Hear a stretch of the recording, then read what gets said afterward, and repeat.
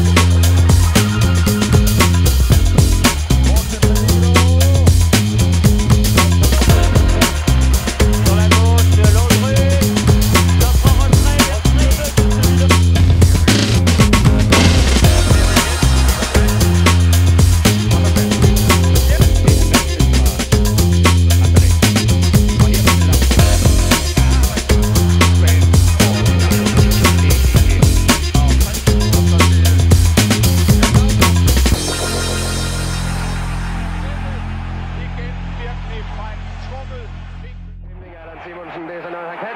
Og en god stikning til Laudrup. Og så et træk til. Og så kommer afslutningen. Ja, det er et perlemål. Et vidunderligt mål.